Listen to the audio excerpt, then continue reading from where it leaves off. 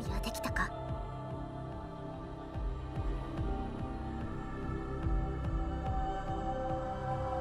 あ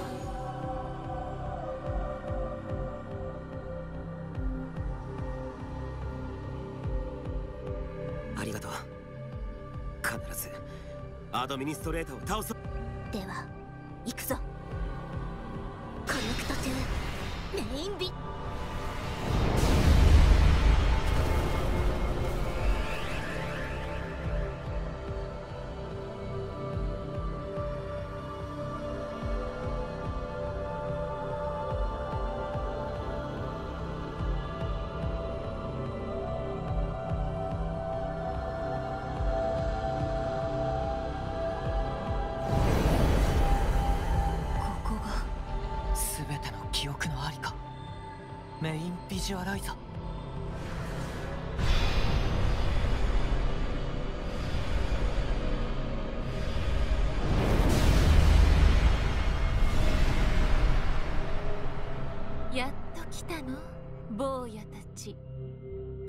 ストレーター。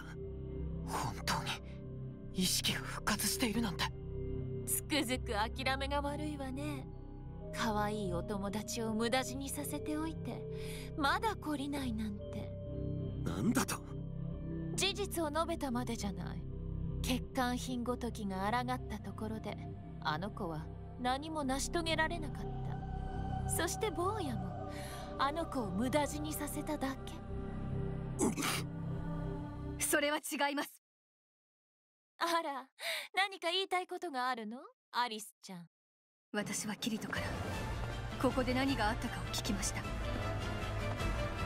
絶望的な状態でメディナ殿は自らの命を落として剣になりキリトに力を与えキリトはメディナ殿と共にあなたに一矢報いて外の世界への扉をその剣で焼き払ったあの時あなたは確かに一度死にキリトは命を失わず最上階へと戻ってくることができた。そして今私たちと共に再びあなたを倒しにここへ来たのです。意味のない生も死もあるはずがない。アリス。随分と生意気なことを言うのね。私は決めたのです。最高司祭様。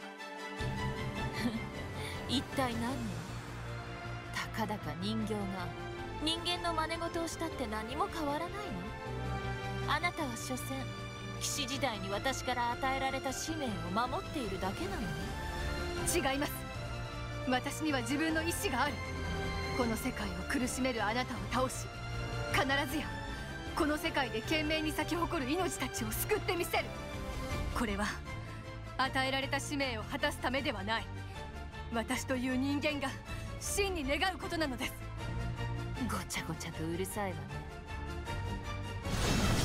いいわ。お前たちの無力さを思い知らせてあげる。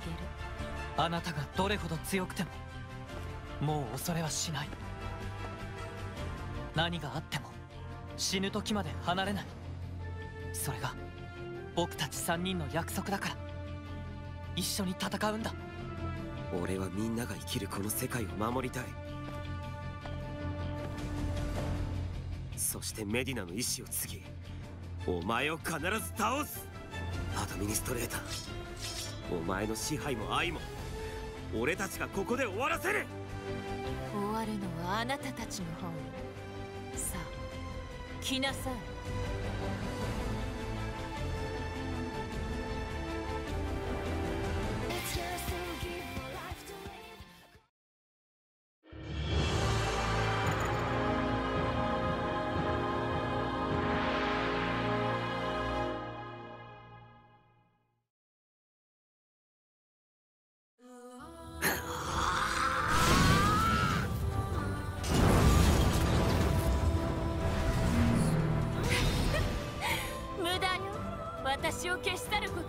な。い何度でも私は蘇ることができる。なのになぜこうも抗うの？あの小娘。もイレギュラーの坊やもお前たちも。俺たちが諦めない理由。それは到底あんたには理解できないだろうな。あんたがメディナの喧嘩を見抜けなかった理由ときっと同じだ。メディナは潜在の思いの強さ。きっと俺を助けたいという一心。で自分を犠牲にした。感情を捨てたあんたには。その思いが理解できないだからあんたにとってそれは誤算となった。一人のちっぽけな人間が命を賭してまで。成し遂げようとするものがあるってことが。笑わせないでちょうだいそんなもの理解したくもないわ。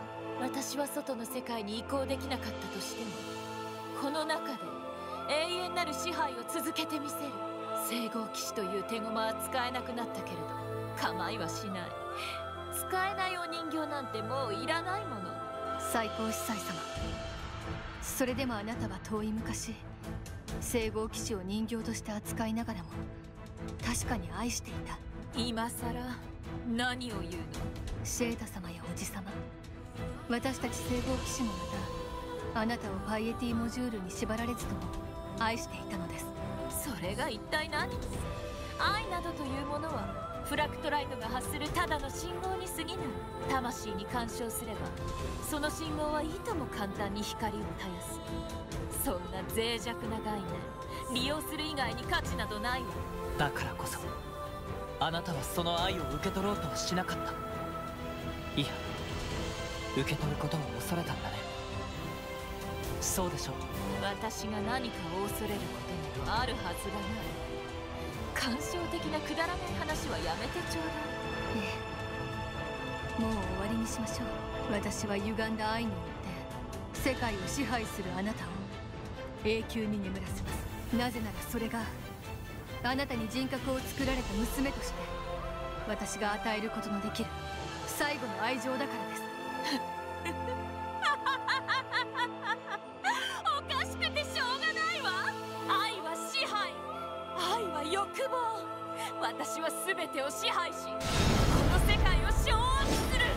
きましょうキリトユージああ今度こそ。これで最後だ。この世界を守って。もう一度始めよう。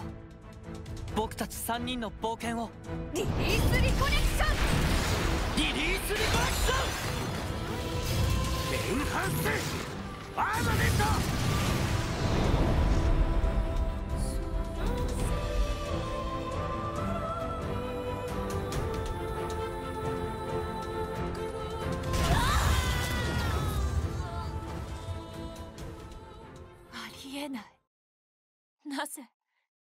私が。今度こそ完璧だったはずなのに。これが俺たちの意志の力だ。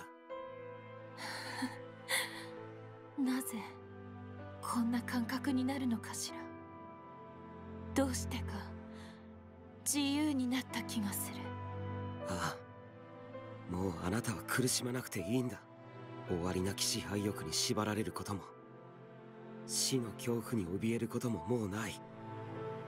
そうね。確かに。私は解放された。あなたが終わらせてくれた。おやすみなさい。坊や。私は先に眠って。美しい夢を見るわ。さようなら。支配者であり私たちの母。アドミニストレータ様。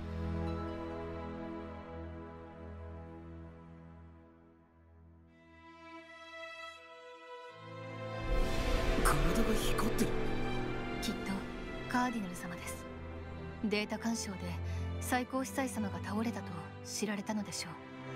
ああそうだな。ねえキリト。またメディナの最後の戦いについてゆっくり聞かせてくれるかい？もちろんだ。聞いてくれユージオ。メディナがどれだけ勇敢だったか。もっとたくさん話したくてしょうがないんだ。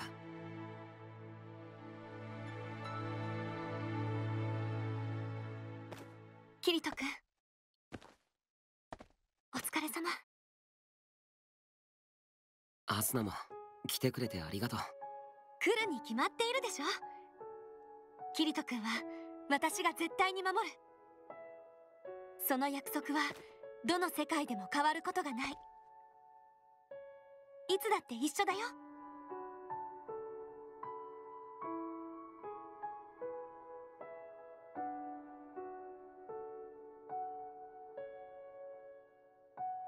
メディナさんのことは残念だったね。ああ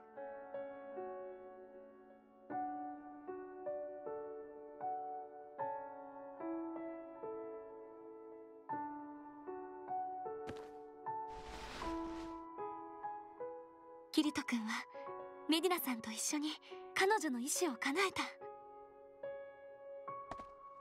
きっと思いは伝わっているわ。そうかな。だといいな。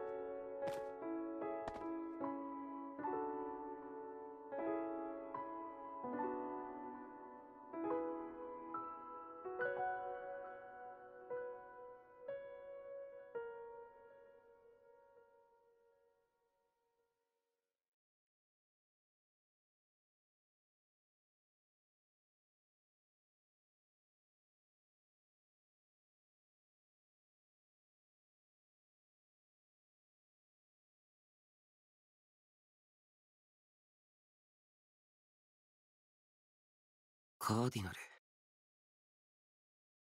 200年以上にわたりこの瞬間を待ち望んでいたが実際に訪れると妙な気分じゃな。アドミニストレータとカーディナルは特殊な関係だもんな。ああ。憎き存在じゃったがクイネラは正真正銘わしの片割れでもあるからの。私も複雑な感情です前にここで最高司祭様と戦ったあの頃とは違う言葉にするならば不思議な喪失感でしょうか。これが人間であるということなのかもしれませんね。そうじゃな。わしもお主と似た感情を抱いておるよ。知らぬ間に。黒髪の誰かさんのせいで人間らしくなってしまったようじゃ。誰かさんって俺のことか？お前以外に誰がおる？とはいえいつまでも干渉に浸っているわけにはいかぬ。キリトよ。まだ最後にやることが残っておる。カセドラルシダーを切るのじゃ。カセドラルシダーを？ですか？うむあの中には以前アドミニストレータの死体が残っておる。メインビジュアライザー内での意識は全て消し去っても魂が完全に消えていない？それじゃあまたアドミニストレータが復活しちゃうんじゃ。さようじゃ。あれを破壊せん限りアドミニストレータを完全に倒したとは言えぬ。とはいえ再びメインビジュアライザー上に意識を作るためにはハーシリアンが行ったような労力と時間が必要じゃがな。そうだとしてもそもそもカセドラルシダーを切り倒せるのかしら？アドミニストレータの死体が残っているのなら彼女の真意も残っているんじゃないの？ああ真意を込めた剣でもカラントを破壊するのが精一杯だったからな。以前までのお主だったらな。お主はメインビジュアライザーと直接接続しシステム。要はこの世界の断りと深くつながった。そして最後にお主がその空間の中でアドミニストレーターを倒し全ての意識を消し去った。色句などがなくとも新生術や真意を自在に操れるほど世界に対する理解が深まっているはずじゃ。そうなのか。いかにもアドミニストレータもお主が自分以上の真意を扱えると察したはずじゃ。だからこそ奴はカセドラル次第に残るフラクトライトで再び復活を試みようともせず敗北を認め死を受け入れたのじゃとわしは考えておる。それではキリト。ああやってみる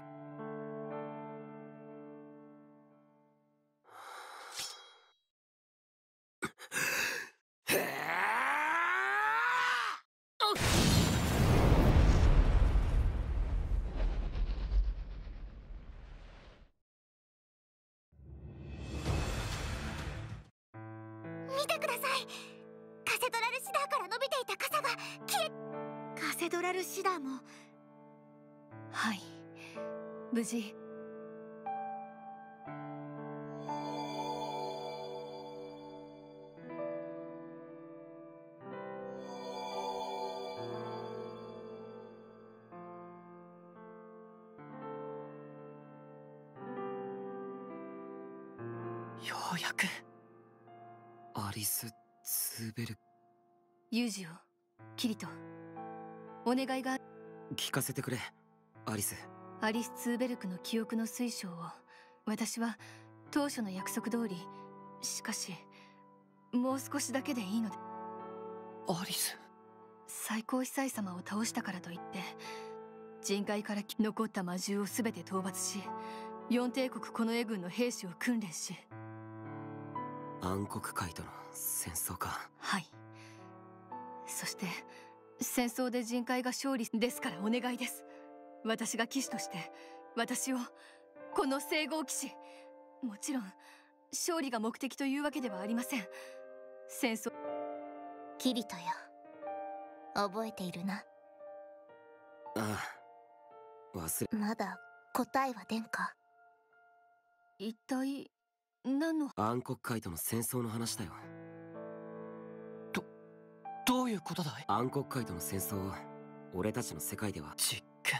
ああ。人海人と暗黒怪人をそのきっかけとなる。東の大門の崩壊。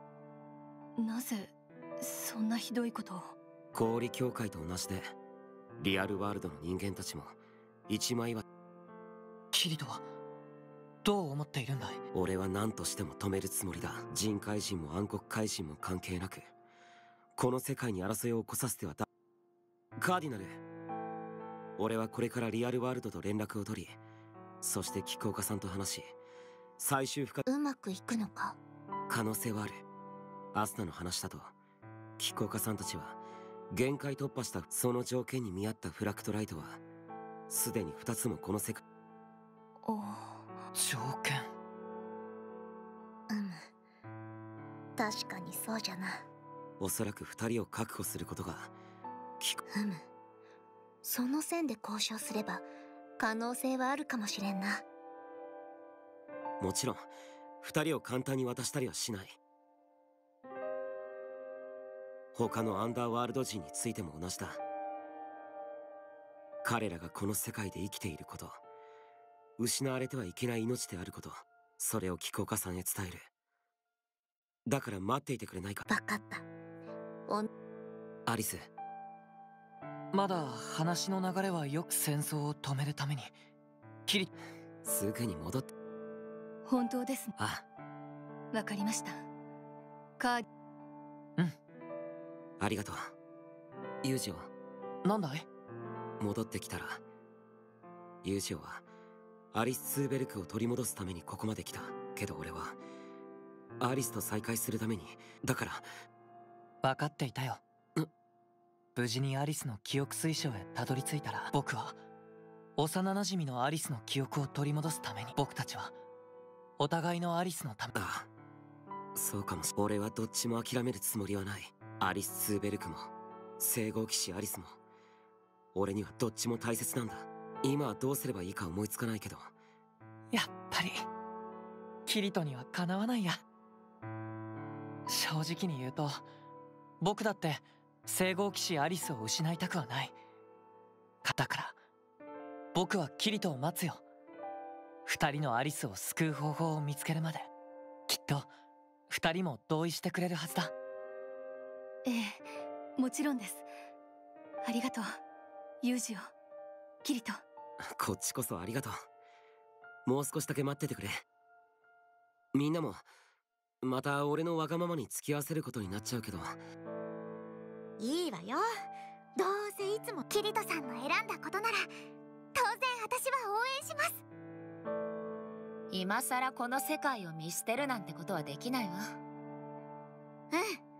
アンダーワールドも私たちにとって大切な場所の一つになったからやり遂げようキリト君。どこまででもついていくから。ああありがとうみんな。それじゃあコンソールに。少しだけ待ってくれアスナすべきこと？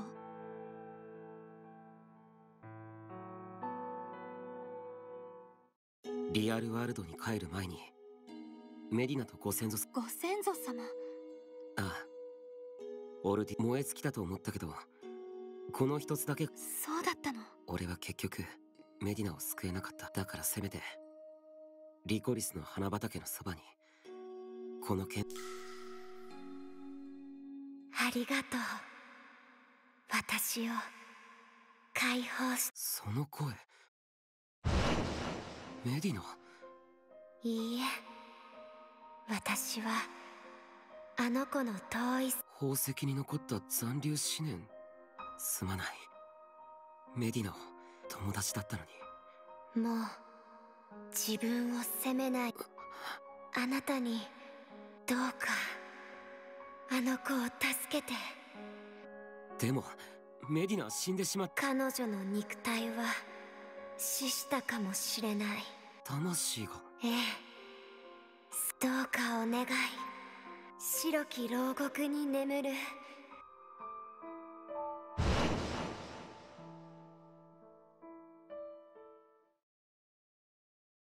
キリト君あ。どうしたの？ずっとその宝石を見つめていたわよ。宝石から聞こえたんだ。まさか。それってアロードの首飾りにの。確かアドミニストレーターは実験に失敗するたび俺この宝石には魂が入っているんだろう。いやこの宝石に残るのはせそれじゃあこの宝石のあの女が宝石をリソースとして作った剣をそこには確かに。計4つのフラクト。4つ？でもアドミンスつまり宝石に変えられた5人のうち1人だけ？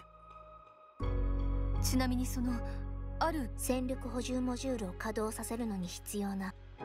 フラクトライトではなくオルティナノスそして。もしかしてカーディナルメディナの剣を知ら一体なぜじゃ？もしかしたらまだこの剣の中に。しかしフラクトライトの反応は生じ確かにそうだ。でもメディナのご先祖様は何より俺はまだ諦めた分かった。なんとすまぬ。メディナのフラクトライトが正確にはほとんど崩壊してしまい全てのどういう意味だ？メディナのフラクトライトは未だ。じゃが状態は最悪じゃ。もはや通常のフラクトライトとしての働き。そんな。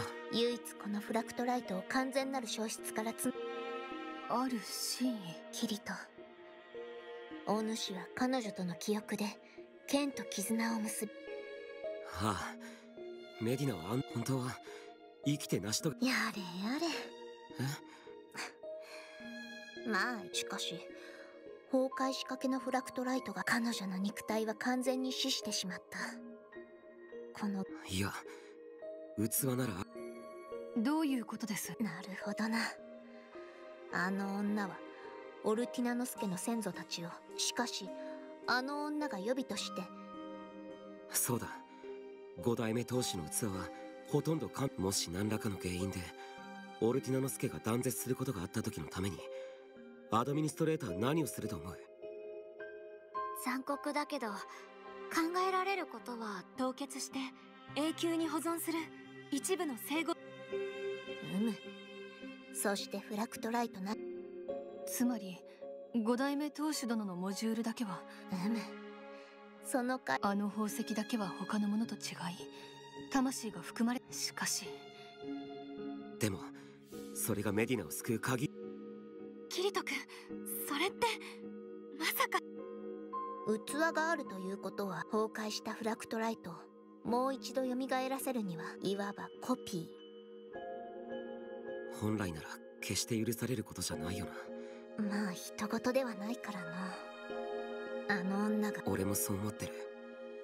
だからたとえ器があったとしてごちゃごちゃと悩んでる暇はないぞ。メディナの。カーディナル。お主はメディナの先祖の声を聞い確かに。哀れなリセリスという少女は。じゃがメディナの先祖が子孫を生かすため。ああご先祖様の意識は。そうか。器と壊れかけの魂をつなぐ方法があるのか。詳しくは後で話す。問題は。白き牢獄で私を見つけて。白き牢獄だと。それってあんたとユージオがここに連行されてきた時に閉じ込められた場所のこと？いや違う。そこじゃない。あさっきハーシリアンが言っていた場所。最上階からつながる人前に大図書室で見せてもらった絵本。あのな絵本じゃと？もしや？そんな本があったの？ああ今から思えばあれ宝石に自分の血を注ぎ扉を開く人々。ちょっとそれ。そうだ。あれはアドミンスト正確にはクイネラが万が一記憶を失った際にわからないがあの中に何か暗号が隠れている。少し待っておれ。大図書室に。え。これじゃな。他にも関連がありそうな書物がない。十分だよ。ありがとうカーティナル。ん？これを？大きな宝石の周りに血を注ぐ人たち。お兄ちゃん。次のページで全ての宝石が集合体となり宝石はこの最上階に飾られた剣の塚やっぱりこの剣だ。絵の通り塚に宝石のかけ。解析してみよう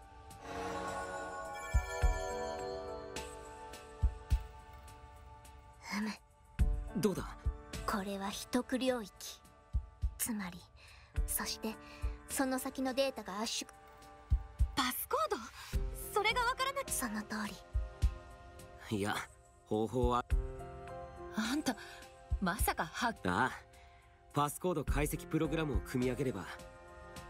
いくら現実で君がプログラミングに強いって言ってもここにはそんな端いやここにはあるんだ。プログラミングに適したリアルワールドの人気が。末キリト君さすがお兄ちゃんって。ええ。やることがハッキングなだ。でもさすがキリトさんです。塚にはまった宝石のオブジェクト ID はもう分かっている。ならばそこにかけられたパスコードを解除し先ほどから黙って聞いてはいたが一区領域への潜入方法を探していることは理解しましたが。私たちにも分かるように説明してちょうだい。悪い。詳しいことはともかくこの機会で。俺やメディナのご先祖様。だからそれは一体まあまあ見とけよエルドリエ。少年はいざという時信頼できる。にしてもリアルワールドってとこの知識は難しいことだな。脳みそがついていかねえよ。まあ見ておくとしましょうよ。どうにか扉を開いてみせる。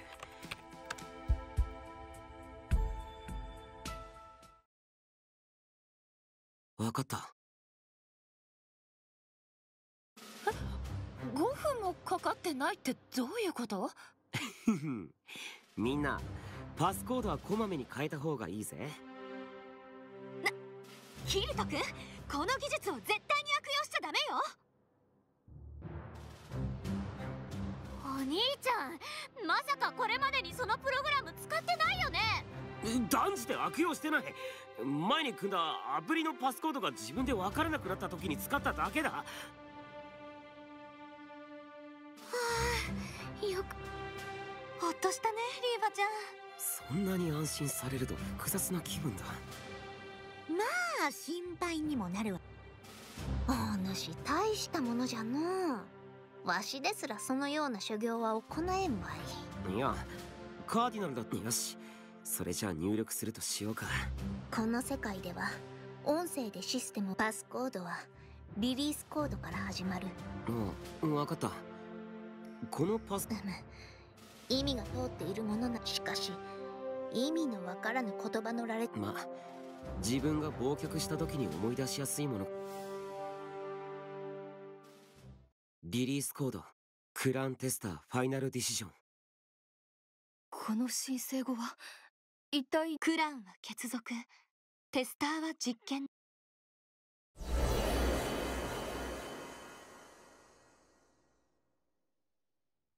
そして最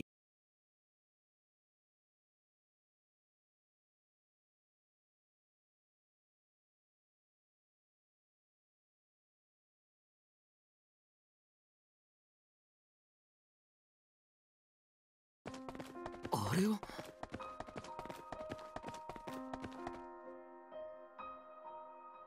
この方がメディナ殿のご先祖様。ああきっとそうだ。よかった。やっと見つけてくれた。早くあの子を。また声が。おそらくはその宝石に残る記憶が彼女のフラクトライトに反応しておるのじゃろう。やはりこの体は紛れもなく五代目当主のものじゃ。メディナさんによく似ているわね。ああ迷っておるのか？当然だよ。いざとなるといくらご先祖様がそれを望んだからといってこの人だってアドミニストレーターの実験台になって自分の人生を奪われてしまった一人なんだ。ですがお前は彼女の声を聞きメディナ殿を助ける使命を受けたのでしょああやっぱり俺は。そうだねご先祖様の思いに応えることができるのもキリト君だけだよ。お前は私に自分の意志で決断することの大切さを教えてくれた。このお方の意志がもう決まっている以上。お前も自分の意志で決めればいい。キリトは何を望みますか？アスナ。アリス。俺はメディナを助けたい。メディナは大切な友達だから。ではもう思いは決まっているではないですか？あああとはどうやってこの体にメディナの剣に残ったフラクトライトを上書きするかだ。言っておくがそう甘くはないぞ。カーディナル。これは単なる魂の複製作業ではない。崩壊寸前のフラクトライトを新たなフラクトライトに上書きし人体に接続することはどんな手段をもってしても不可能じゃ。でも何か策があるんだろう。うむメディナの壊れかけた魂を先祖の体に接続するにはお主とメディナの記憶によるつながりを得た剣を媒介にした接続作業。それが必要となるじゃろう。剣を媒介にまずは五代目当主の記憶が残った宝石とメディナの剣に残る崩壊しかけのフラクトライトを融合する。そしてその剣で先祖の体を貫き接続を行う。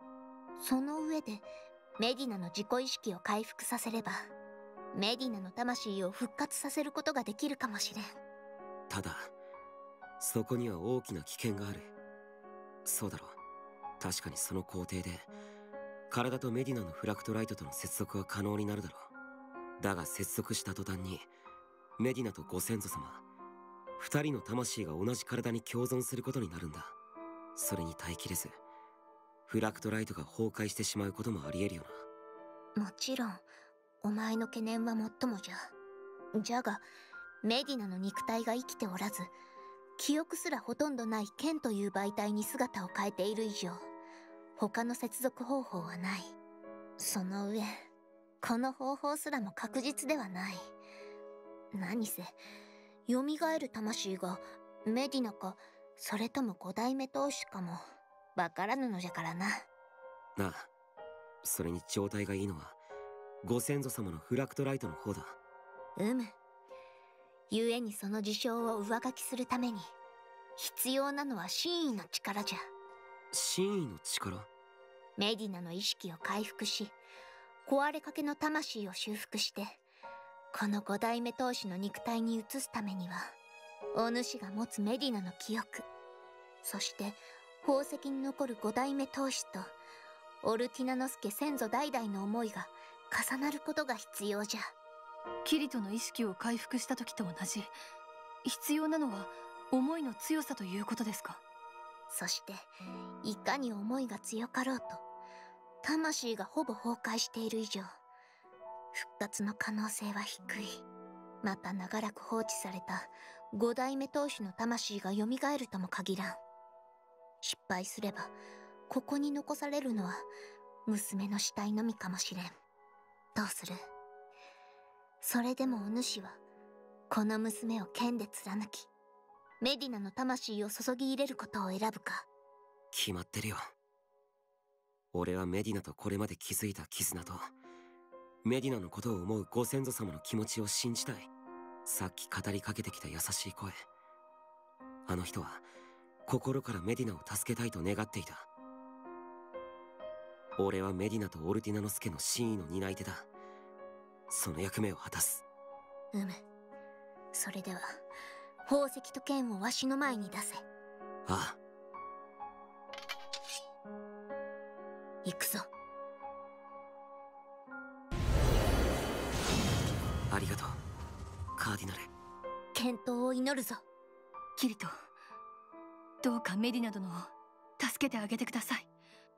私は彼女から学んだことが多くありました。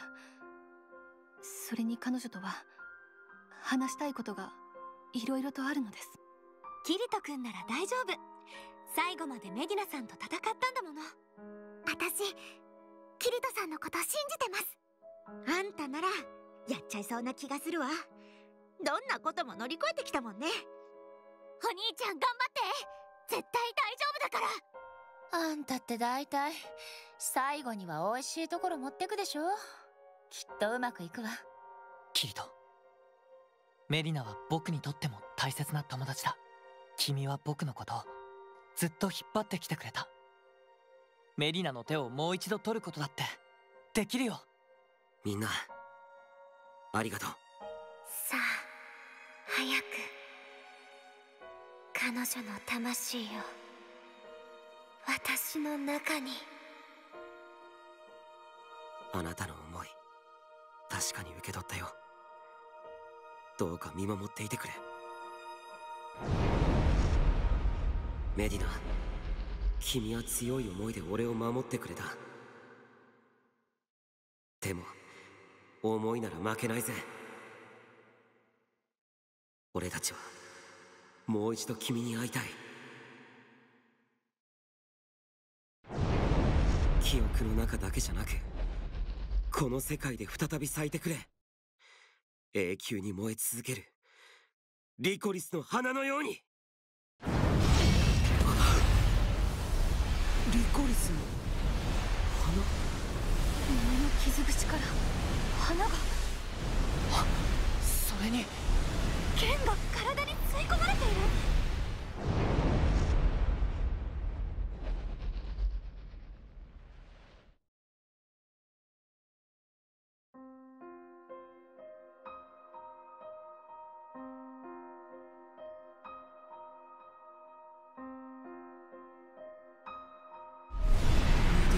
この姿形。紛れもなくメディナ殿です。うむ。じゃがまだ確証はない。どういうことだ？姿形は確かにメディナじゃ。しかしそれはキリトや先祖の真意が作用したがゆえの幻影かもしれん。幻つまりは五代目当主殿の魂が蘇った可能性もある。そういうことですか？うむあの崩壊の仕様では再びフラクトライトが息を吹き返すことは難しいからな。すまぬ。厳しいことは言いたくないが可能性について話しておく必要があったのじゃ。分かってるよカーディナル。ともかく目覚めてもらわなければわからないな。キリト メディナ！メディナ！よかった。意識が戻ったんだ。さんあなた。誰？あなた。ここはどこ？私は一体。俺のこと覚えてないのか？フラクトライトは記憶領域まで激しい破損状態にあった。やはり記憶の回復は不可能であったか。そんななおさら蘇ったのがメディナなのかご先祖様なのかわからない。でもどちらだったとしても俺はまた大切な友達として思い出を作っていくだけだ。おい。え？3秒以内にその手を離せ貴様。会ったばかりの人間に慣れ慣れしく触るなどどういうつもりだ？32ああメディナよメディナが戻ってきたわおおい一体なんだそうですねこの工場はメディナ殿以外にありえませんよかったメディナさん本当に戻ってきてくれたのね。お前たちは一体誰なんだ？メディナとは私のことか？それ以前に。私はなぜここに？怖かった。キリトさんの剣が入っていく時私ドキドキして心臓が止まるかと。メディナさん！無事でよかったよメリナ大丈夫？痛いところはない？どこも痛くなんかない。なぜそんなことを聞く？だってさっきからずっと。なんで涙が？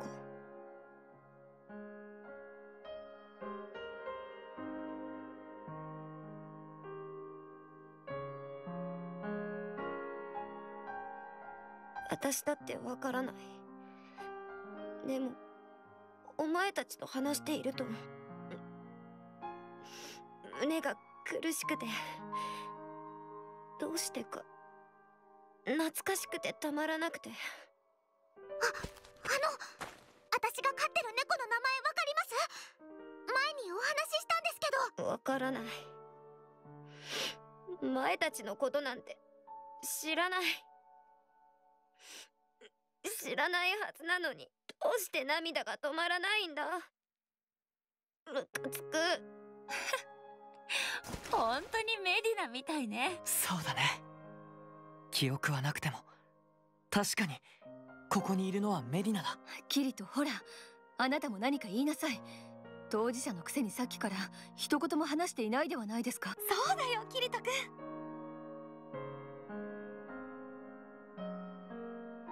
おかえりメティナ。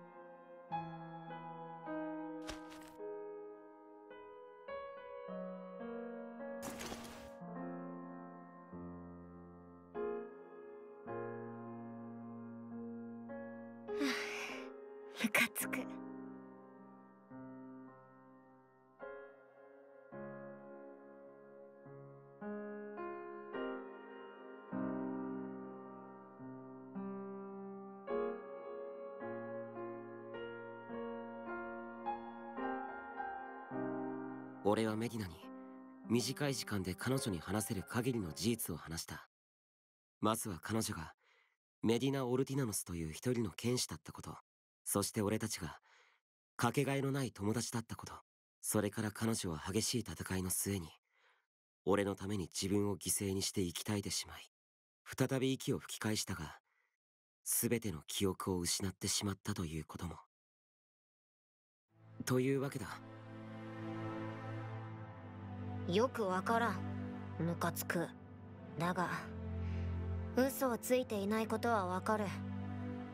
ずっと長い間私は暗闇の中にいた。なのに一筋だけ光が差し込んだ。お前はその時に見た光に。嬉しいよ生きて戻ってきてくれて。本当によかった。なんとなく心が伝えてくれる。お前はムカつくやつだ。相変わらずだな。なぜそう思った？理由を知るためにももう少し詳しく話しあ ごめん。もっとここにいたいのは山々なんだけど。俺なんだと？そうだ。寂しいけどキリトは自分のいた世界にもう帰らなくちゃいけないんだよね。それでは私の記憶について確認しよう。悪いな。でも少しの間だ。すぐに戻ってくるよ。大丈夫。それまでは僕たちが君にいろんな話をするよ。そうです。メディナ殿ゆっくりお話ししましょう。あなたと私たちの思い出はまだまだたくさんあるのですから。はい。ありがとうございます。ですがキリトメディナ殿とお前しか知らないようなことは外の世界とこの世界では時間の流れが違います。でき分かってるって。その言い方じゃまるで俺がダラダラして帰ってこないみたいじゃないか。その可能性は大いにあります。お前を心配している女性が何人もいるでしょうから挨拶回りがさぞかし大変でしょ確かにみんなに無事を報告する必要はあるけどなんで女性限定なんだよ。自分の胸に手を当てて考えん。どうしたんだメディナ。何でもない。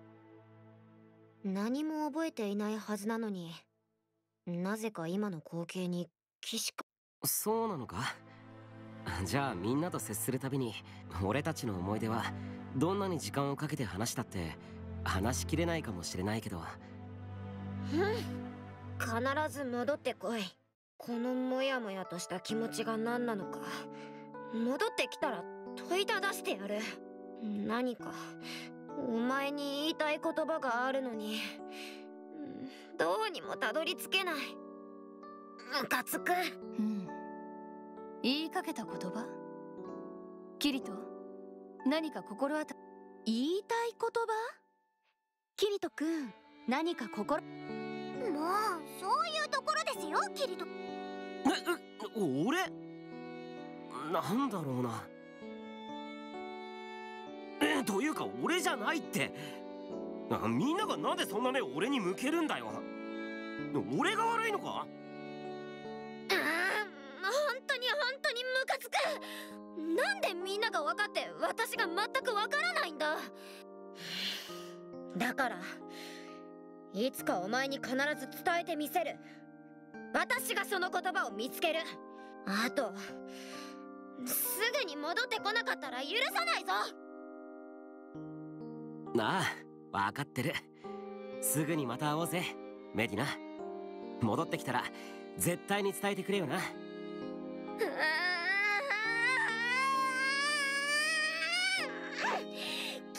は今日初めて出会ったはずなのに。やっぱりムカつく。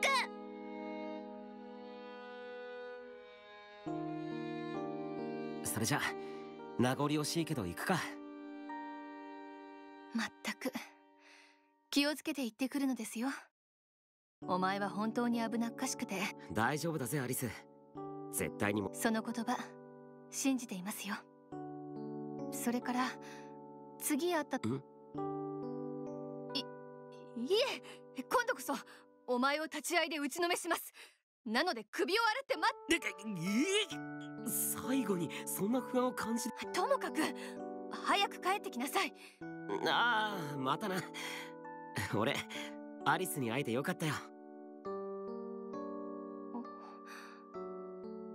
もうまったくお前はそれじゃあシステムコンソールで外部と連絡を取ろう。必ず救ってみせる。アリス勇士を